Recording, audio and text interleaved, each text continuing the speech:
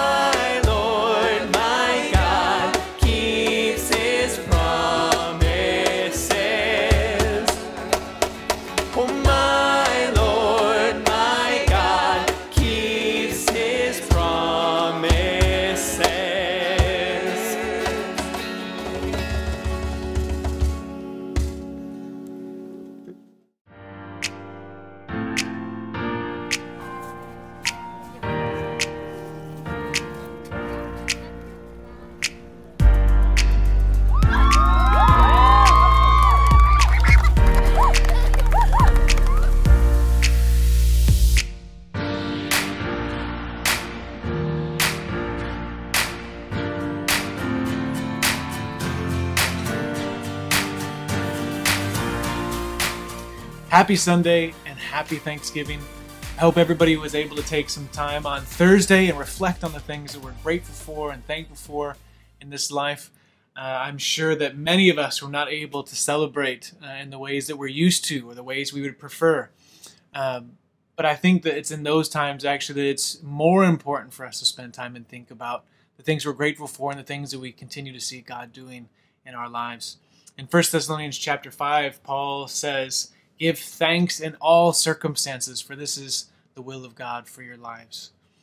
I think those taking those times to to reflect on on the good things that we have, even when things are hard, is, is really important for our faith and to continue to see God moving uh, in all the situations we find ourselves in. Today, we're going to be continuing our sermon series through the book of Hebrews called Election, and we're in chapter 11 uh, today, which I'm excited about.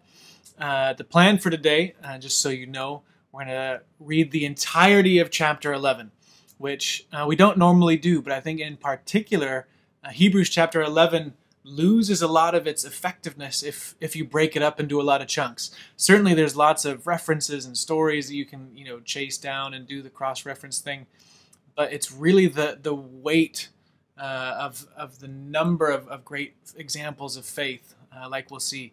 Uh, so we'll read that all together. We're going to jump back to chapter 10 and then finish up in the first couple of verses of chapter 12 uh, today as we talk about the faith of others.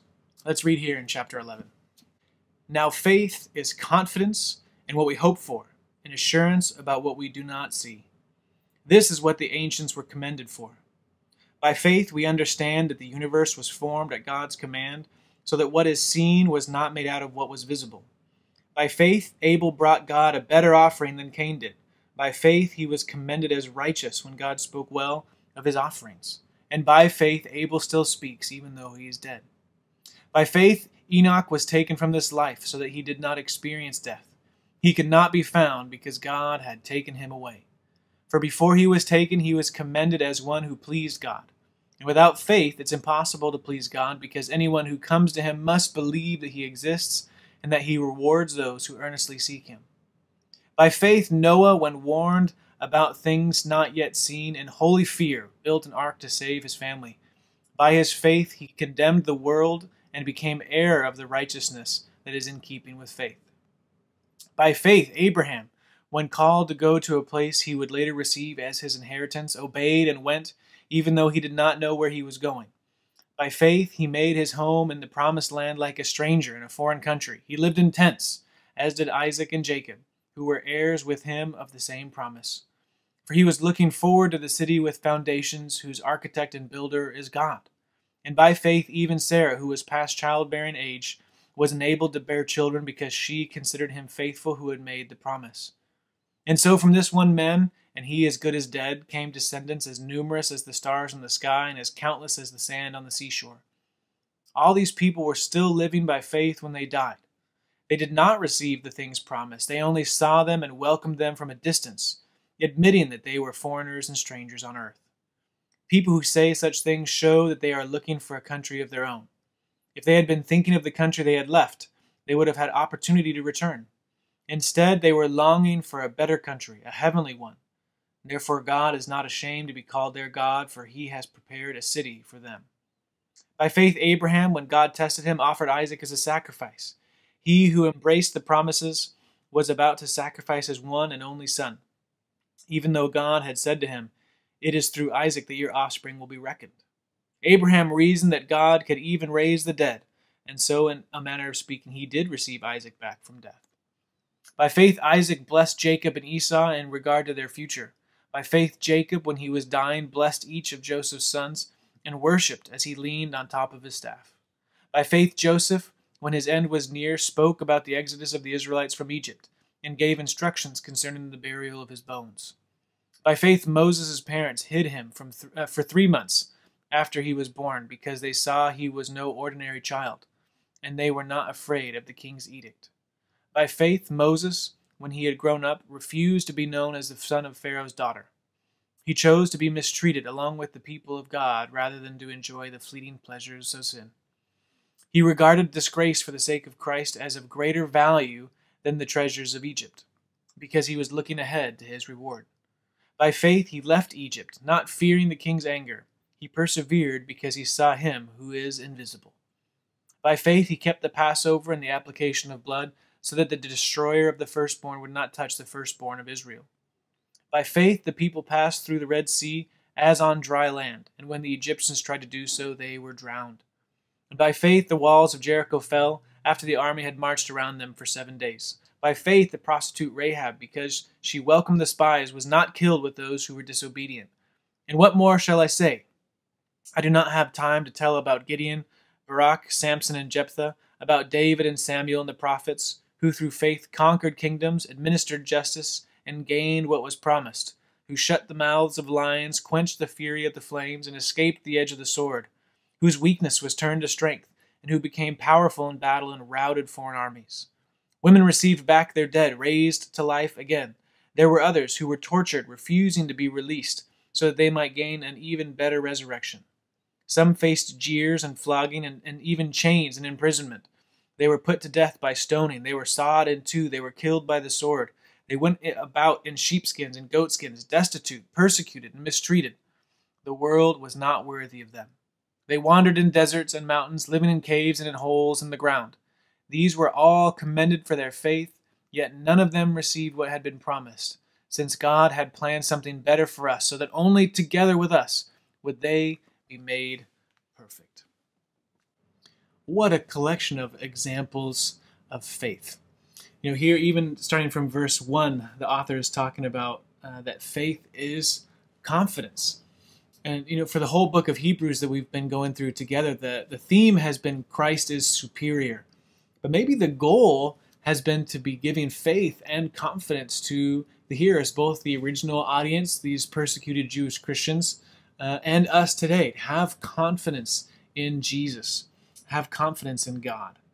And this example, uh, or I guess collection of examples, is really meant to do that, to give confidence. It really is this hall of fame of faith.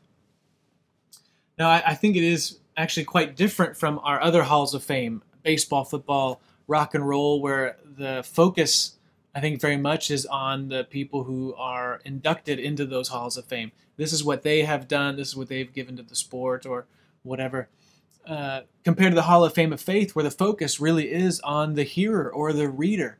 The reason this is collected here, I mean, it is to celebrate the, the faith of these people, but only in the sense of inspiring those who are able to witness it.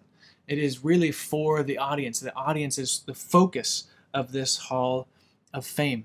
Even in verse 40, the, the author says, together with us. Like we are, are all in this together, whether it's the heroes of the Old Testament, our heroes of the New Testament, our present day faith heroes. Like we are all in this together. And the faith of others plays a, a very important role in our own pursuit of God and our own pursuit of faith. Uh, in in this context, in these couple of chapters, that that sense is really that through the faith of others, the support and the encouragement that we get through that, we are able to persevere through really challenging times.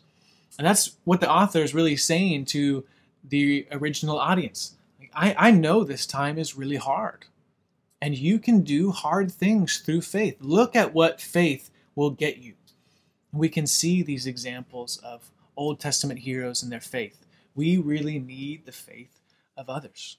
Let's go back a chapter into chapter 10. Dana was preaching about this last week, uh, and I wanted to touch on this part about uh, the faith of others uh, again in verse 24 says, Let us consider how we may spur one another on towards love and good deeds, not giving up meeting together, as some are in the habit of doing, but encouraging one another, and all the more as you see the day approaching.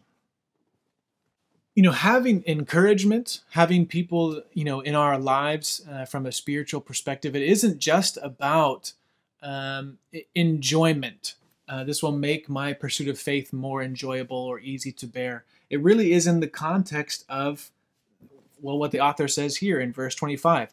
All the more as you see the day approaching. And my translation, day is capitalized. This is the day that Jesus comes back, the day that we stand before God. In that context, we really need each other. We need the faith of others. We need to be spurred on. We need to be encouraged. We need to have these faithful examples so that we can stand before God as those who do not shrink back. That's the end of chapter 10, right? That's that's the context of, of what we're talking about.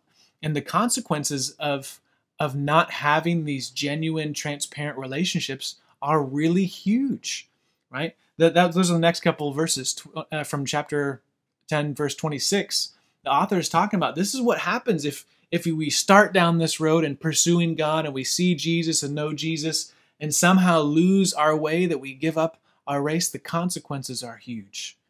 That, that's the importance of needing those who are going to spur us on to keep us going in our race. Let me ask you who, who do you have in your life that, that spurs you on towards love and good deeds? Who do you have that you are encouraging in their faith? Those should be some names that come to mind very quickly. These are the people who inspire me. These are the people who help me pursue Jesus. Here are the people that I'm trying to keep in my mind and considering how I can spur them on. Uh, if it takes any time at all, really, it, it means that there's a breakdown somewhere. Uh, it means that we haven't been considering that very often, or that hasn't been playing a meaningful role in our lives recently. And something that I hear a lot when we talk about these kind of relationships, whether you call it a, a discipling partner or a discipler or uh, whatever you want to say, uh, what I hear often is, well, uh, this is the plan, and I'm supposed to be getting with this person or uh, engage over here, but it hasn't been working out recently. The last couple months have been a little bit off. And on the one hand, I understand how that happens uh, because life uh, gets crazy. There's lots of things going on, and it's easy to lose track of those things. On the other hand, the author says, and all the more as we see the day approaching. Right? In the context of, of going to heaven, uh, we need to be more and more devoted to these relationships that are going to help us to get there. And we need to be more and more concerned with helping the people around us get there with us not over time that we become less and less concerned, or as we get more and more mature in the faith, that we need less and less check ins. I don't know that that's a, a, great way to think about this. And we, we're thinking about needing to uh, have this encouragement, this spurring, these other people who are helping us to get there, that we are fulfilling our roles in the body of Christ, like 1 Corinthians chapter 12, both that we need the body and the body needs us. In the context of heaven, we need to continue to all the more be devoted to that. You know, I uh, one of those relationships for me is certainly with Dana. I think recently there's two conversations in particular where I've felt uh, spurred on towards love and good deeds. The first one uh, was uh, on a Zoom call. We were having a, a mentoring time with the Perkins, and uh, of course we're home and our kids are doing virtual school, and you know we were trying to do a call my kids were doing some stuff and I needed to engage as a parent. Uh, so I took care of the situation and sat back down. And uh, Dana says to me, Hey, uh, can we talk about whatever that was? And we got to talk about me and my role as a dad. And I'm grateful for people who see my life like that. Uh, I'm grateful for the input to help me be a, a godly father and the situation needed to be addressed. Uh, but I was definitely frustrated about what was going on in the background of our work call. Um, but I needed somebody to speak life and speak faith in into me and my role as a dad. And Dana uh, and Jen was there as well. Uh, certainly helped me uh, to do that. The second conversation with Dana recently uh, was by phone, and I was just sharing with him man, I'm starting to feel really overwhelmed at all the things that are going on right now. Uh, this is um, after the Delos uh, had uh, departed. They've on to their next chapter in Texas. So we're a little short staffed at the moment, and we're trying to cover all of our bases. And it's already been kind of a crazy year trying to get up to speed with virtual church and uh, the pandemic and the political scene and the social justice stuff, and now being uh, short staffed and trying to cover um, everything uh, I was starting to feel that. And uh, Dana said uh, two things to me that, that really made a huge difference in how I was facing the current situation. And he said, the first thing is uh, you need to be humble. Like, four people are not going to do the work of six people. Like, we're just not. And if we try, there are going to be large consequences to that, right? Uh, we need to be humble with our own limitations. Uh, and that's hard for me and certainly not my default my default is to you know rise to the occasion and you know stand in all of the gaps um, but there is also an arrogance to that, uh, that that i don't want to accept my own limitations uh, the other thing that he had said to me was uh, you need to have humility and you need to have faith like we can only give as much as we have and in that moment we need to trust that god is going to take care of his church like this is God's church. It's not our church. So we give our loaves and our fish, we give as much as we have, and God does the rest. And we need to have faith in that. It's not at all about sitting on the, the Christian couch, eating our potato chips, and saying God will take care of it. That's that's not what we're talking about. But I, I needed to hear that, both the, the embracing humility and to embrace faith. And uh, I, I'm really grateful uh, for that conversation. I'm grateful for Dana in my life. My weaknesses are Dana's strengths, and I, I need him in my life. And I, I know that as a church and as a church family and as a church movement, these kind of relationships are, are part of our stated values. But it's really easy for those relationships to break down if we're if we are not continuing to pursue having the faith of others in our life.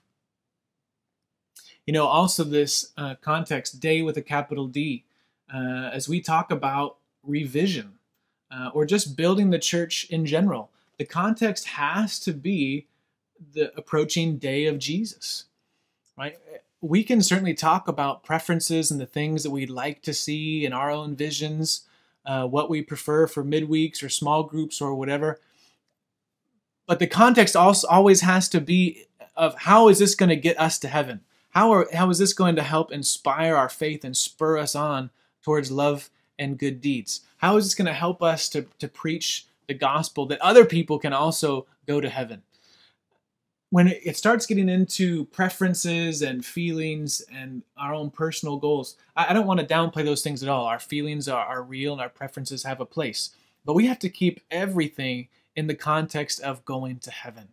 In uh, Matthew 23, Jesus, one of his criticisms of the Pharisees is that they strain out the gnat and swallow the camel.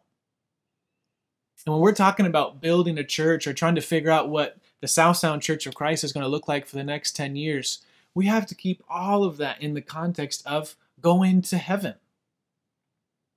Otherwise, we can get into all sorts of discussions and hurt feelings or bitterness about the way things are or aren't being done. And in that sense, uh, we might strain out the gnat, but swallow the camel, where actually our faith is hurt because of the way that we're trying to build these things when we get too focused on these other parts. I'm not saying that we shouldn't uh, make sure that our needs are met. But our needs, when it is concerning us getting to heaven, is very different than our preferences. And even a lot of the work that we've been doing this year, talking about racial and cultural diversity and unity, all of us come from such different preferences and uh, life paradigms that as we build a church together, there's going to be a lot of meeting in the middle. But that's going to be a lot easier to do if we hold this day with a capital D as our goal. We are all trying to get to heaven. And at the end of the day, I don't really care if we do or don't meet on Wednesdays, if we sing this song or the other song, if our services are half an hour or two hours long. All of that, as long as we're meeting the goal of getting to heaven, all of the rest, we will sort it out. You know, we really need these relationships. We really need the faith of others so that we can stand before God on that day because we are, for sure going to need the encouragement and the spurring on some point between here and there. That really is the point of, of chapter 11. We kind of have these two different kinds of relationships the, the people that we can sit down with or we can uh, talk to via a screen or a phone or whatever.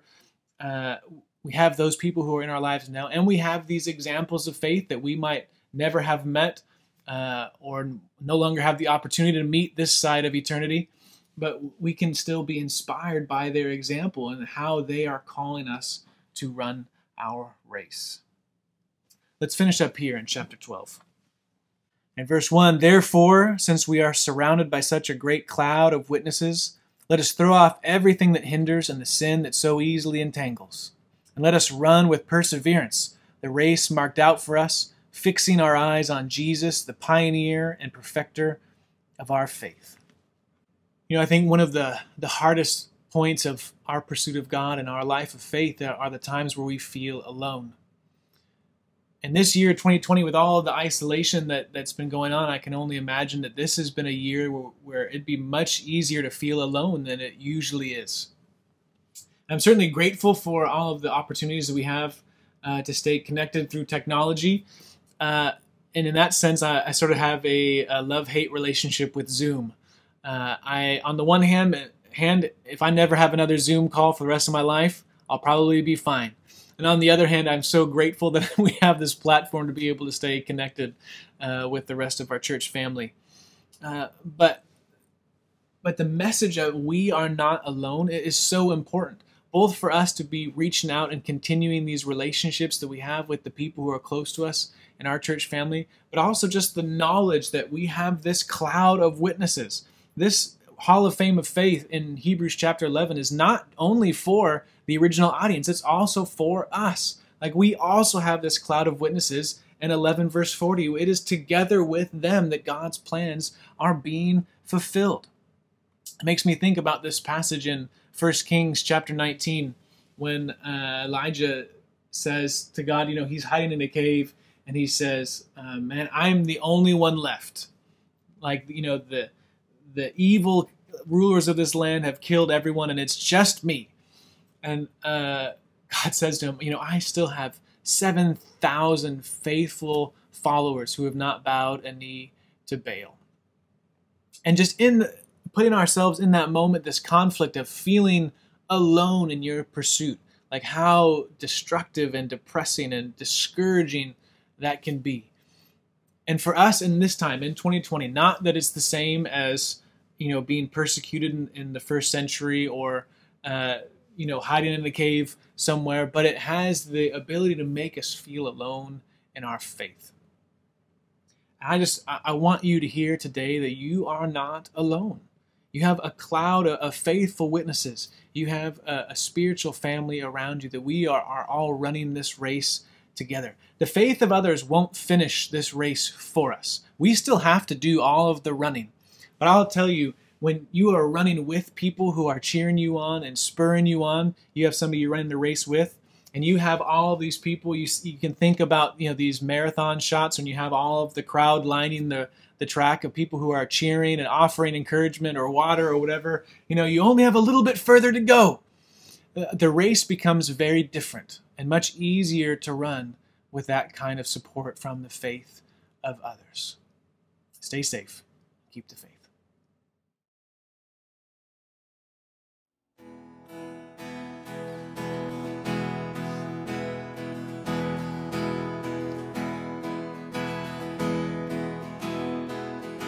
Open the eyes of my heart, Lord. Open the eyes of my heart. I want to see you. I want to see you. Open the eyes of my heart, Lord. Open the eyes of my heart. I want to see you. I want to see you.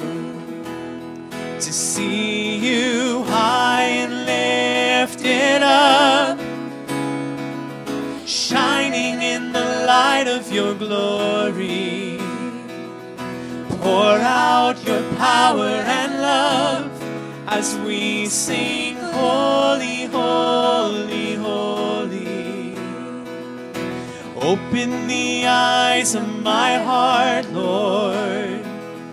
Open the eyes of my heart. I want to see you. I want to see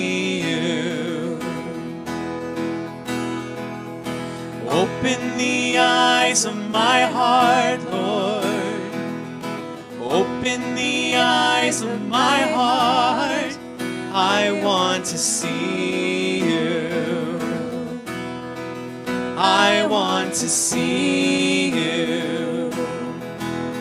To see you high and lifted up shining in the light of your glory. Power and love as we sing, Holy, Holy.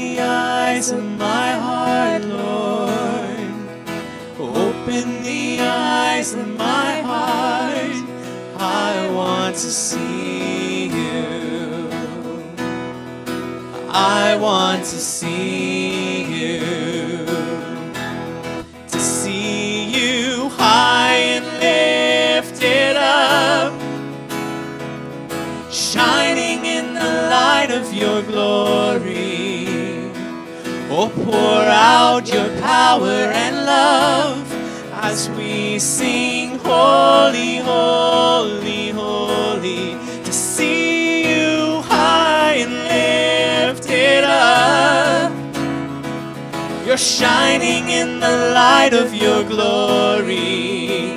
Lord, pour out your power and love as we sing, Holy, Holy.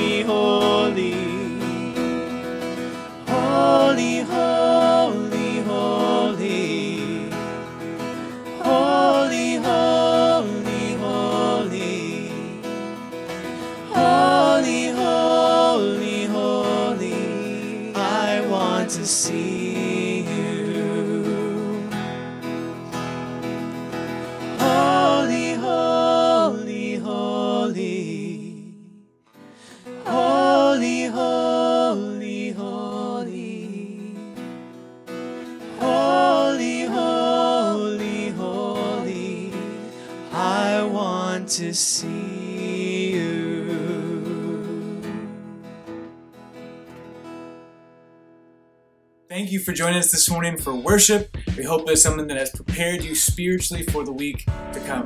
Please continue to follow us online. You can get to our website, southsoundcoc.org, or find us on Facebook or Instagram. If you're new or you found us recently, we would love for you to go and find our next steps button on our website so we can get to know you a little better and hear how we can serve you, certainly in this time. For all of our members or anybody who wants to give financially, please go to the website and click on the Give button. This will take you to the Tithely app so we can continue to be faithful in our giving in this time. If you missed our 930 Kids program, you can find it on our website in the Virtual Kids Corner, and be sure to tune in next week at 930 for another Kids program. If you are essential personnel or you're experiencing hardships because of the coronavirus, please let us know so we can continue to pray and support everybody. Until next week, stay safe and keep the faith.